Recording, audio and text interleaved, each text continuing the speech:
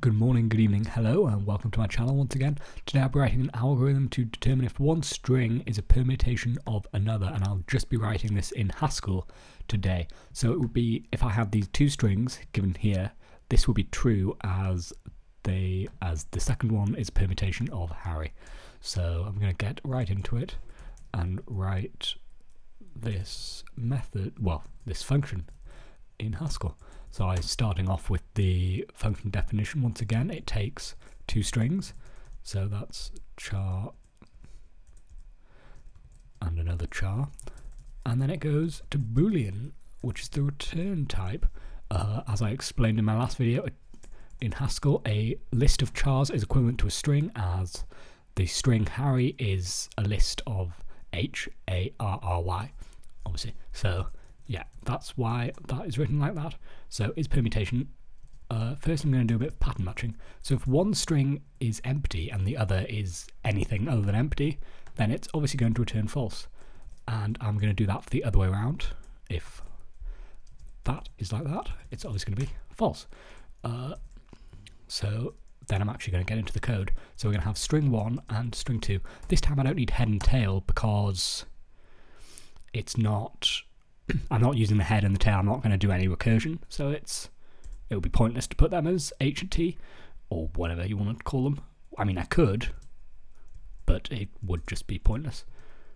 So yeah, is permutation come in here, and I'm going to do if the length of string one is not equal to string two, it's going to return false. That's not equal in Haskell. Uh, string two, that the whole thing will return false and then using this other guard, you have to have an otherwise to finish off your guards. Guards are like if, so if this is true, do something over here, which will give the return value, the return value or the list or whatever, or call another function, which eventually gives the return type. But uh, yes, and then otherwise, we'll sort the list.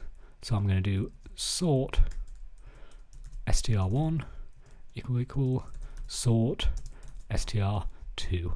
Uh, I'll put that, I'll put each of those in brackets just to make it very clear. Uh, sort is you would have to is from data dot list. Sort that's that function. Uh, so you would have to put that at the top of your file if you were actually doing this in Haskell. So uh, yeah this is the function. If it got the strings I had earlier so if it got Harry and that, uh, that would return true. This would be false, so it wouldn't come in here. It would come down to otherwise. It would sort them, so it would be uh, AHRY, uh, and then they're obviously equal to each other. If it got this string, these two strings, this would be true, so it would just return false. So yeah, that's it. Uh, the sort runs in uh, big O n log n time, which is fairly reasonable.